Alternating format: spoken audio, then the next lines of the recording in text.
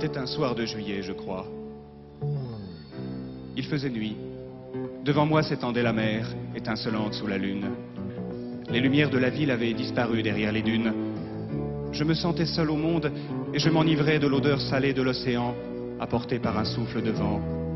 Lorsque, silencieuse, tu t'es approchée de moi, tu semblais sortir de la mer.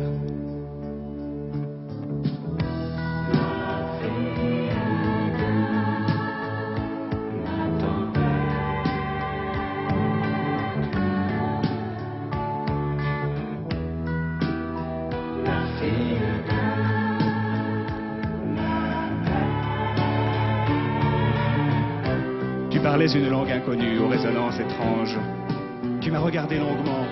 Ton visage était celui d'un ange. Les nuages s'amoncelaient et de grosses gouttes de pluie commençaient à tomber. Alors, tu t'es rapproché de moi.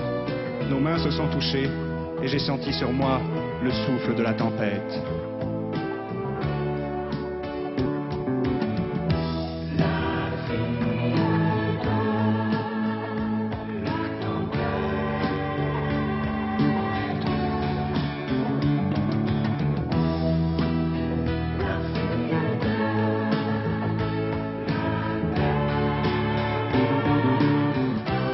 S'était levé et fouettait nos visages.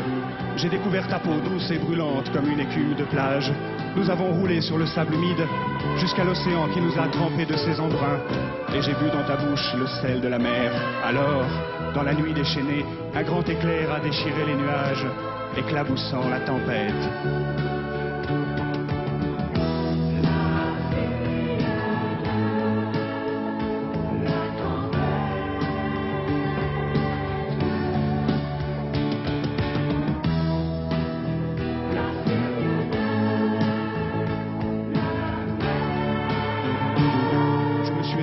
Petit jour, seul. Devant moi, la mer était calme.